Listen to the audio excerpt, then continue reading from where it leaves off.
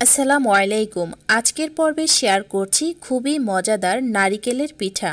এই পিঠাটার সুবিধা হচ্ছে অনেক দিন সংরক্ষণ করে খেতে পারবেন।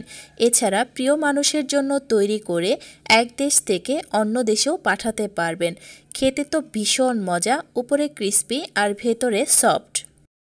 পিঠা তৈরির জন্য এখানে আমি ফ্রেশ এক কাপ নারিকেল কুড়িয়ে নিয়েছি।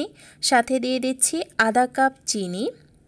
দুই টেবিল চামচ গুঁড়া দুধ আধা চা চামচ বেকিং পাউডার। এখন এই সব উপাদান একসাথে পানি ছাড়া খুব ভালোভাবে মিশিয়ে নিব। চিনিটা প্রায় নাইনটি পার্সেন্টের মতো গলিয়ে নিতে হবে। চিনি এবং নারিকেল মাখার পর যেই পানিটা বের হয়েছে, সেটা দিয়ে আমাকে এই খামিরটা তৈরি করতে হবে। এখন এর ভিতরে অল্প অল্প করে ময়দা দিয়ে একটা ডো তৈরি করে নিচ্ছি। ময়দার পরিবর্তে আপনারা আটাও দিতে পারবেন, তবে ময়দাটা দিলে রেজাল্টটা ভালো আসে।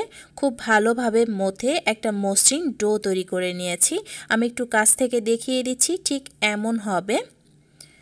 এখন আমি আমার হাতটা খুব ভালোভাবে ধুয়ে পিঠাগুলো তৈরি করে নিচ্ছি। হাতটা ধুয়ে নিয়েছি, এখন ওই হাতে সামান্য একটু ময়দা নিয়ে ছোট ছোট লেচি কেটে নিচ্ছি। নিয়ে এটাকে ভালোভাবে গোল করে নিচ্ছি যাতে কোনো ফাটল না থাকে। গোল করে হাফ ইঞ্চি পুরো করে চ্যাপটা করে নিচ্ছি। এভাবে আমি কয়েকটা পিঠার জন্য তৈরি করে নিচ্ছি। এই পিঠাগুলো বানাতেও কিন্তু সহজ, কিন্তু খেতে খুবই মজা। পিঠাগুলো ডিজাইন করার জন্য আমি একটা চামচ নিয়ে নিয়েছি। চামচের গায়ে একটু ময়দা লাগিয়ে নিচ্ছি।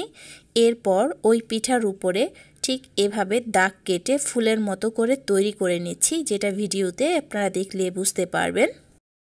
পিঠাটা তৈরি হয়ে গিয়েছে।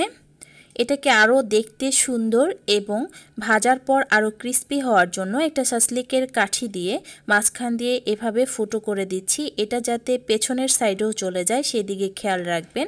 আর সাসলিকের কাঠি দিয়ে ঠিক এভাবে দাগ টেনে টেনে ফুলটাকে আরও সুন্দর করে তৈরি করে নিচ্ছি। আপনাদেরকে আরও একটা কাছ থেকে দেখিয়ে দিচ্ছি। একইভাবে আমি সবগুলো পিঠা তৈরি করে নিচ্ছি। এর ভিতরে আপনাদেরকে একটা টিপস দিচ্ছি। প্রথমে ডোটা তৈরির সময় যে বলেছিলাম, নাইনটি পারসেন্ট চিনিটা গলিয়ে নিতে হবে। সেটা গলিয়ে নেওয়ার কারণ হচ্ছে, চিনিটা যদি নাইনটি পারসেন্ট গলিয়ে নেন, তাহলে দেখবেন ভাজার পর পিঠার উপর যে টেন পারসেন্ট চিনি গলেনি, সেটা খুব সুন্দরভাবে ভেসে উঠছে। সবগুলো পিঠাই আমার তৈরি করা হয়ে গিয়েছে। এভাবেই আপনারা ভেজে নিতে পারেন। আমি আরও একটু ডিজাইন করে দিচ্ছি। এটা টোটালি অপশনাল সাসলিকের কাঠি দিয়ে ঠিক এভাবে একটু দাগ টেনে দিচ্ছি। সাসলিকের কাঠি যদি না থাকে, সেক্ষেত্রে আপনারা চামচ দিয়েও ওই কাজটা করতে পারবেন। এখন আমি ভাজতে চলে যাচ্ছি।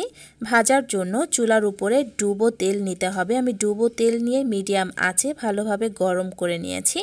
এখন এর ভিতরে পিঠাগুলো দিয়ে দিচ্ছি। চুলার আঁচ মিডিয়াম এবং লোয়ের মাঝখানে রেখে পিঠাগুলোকে ভেজে নিতে হবে। চুলার আঁচটা কিন্তু বাড়ানো যাবে না। এতে পিঠার উপরে যে দানা দানা চিনি লেগে আছে, তাতে পিঠাগুলো পুড়ে যাবে, ভালোভাবে ভাজা হবে না। আর অল্প আঁচে যদি পিঠাগুলোকে ভেজে নেন, তাহলে দেখবেন চারো দিক দিয়ে খুব সুন্দরভাবে ভাজা হয়েছে। এতে পিঠাটা উপর দিয়ে ক্রিস্পি এবং ভেতরটা সফট থাকবে। এভাবে আমি ওলট পালট করে পিঠাগুলো ভেজে নিচ্ছি। পিঠাগুলো আমার ভাজা হয়ে গিয়েছে, আমি সবগুলো তুলে নিচ্ছি। দেখুন কতটা সুন্দর লাগছে। একইভাবে আমি বাকি পিঠাগুলো ভেজে নিচ্ছি। পিঠেগুলোর উপরে কত সুন্দরভাবে চিনির দানাগুলো ফুটে উঠেছে। আশা করছি এই রেসিপিটা আপনাদের কাছে অনেক সহজ লেগেছে আর বানানোর পরে কিন্তু আমাকে জানাতে ভুলবেন না, এটা খেতে কেমন হয়েছে। এখন বলে দিচ্ছি সংরক্ষণ পদ্ধতিটা। একটা এয়ারটাইট বক্সে অথবা জিপলক ব্যাগে আপনারা সংরক্ষণ করে রাখতে পারবেন অনেক দিন। আর এই পিঠাটা উপর দিয়ে ক্রিস্পি এবং ভেতর দিয়ে অনেকটাই নরম এবং সংরক্ষণ করার পরও কিন্তু এরকমই থাকবে। আশা করছি আমার আজকের এই রেসিপিটা আপনাদের কাছে অনেক ভালো লেগেছে, কেমন হয়েছে সেটা লাইক কমেন্ট করে জানিয়ে দিবেন। সবাই ভালো থাকবেন। আল্লাহ হাফেজ।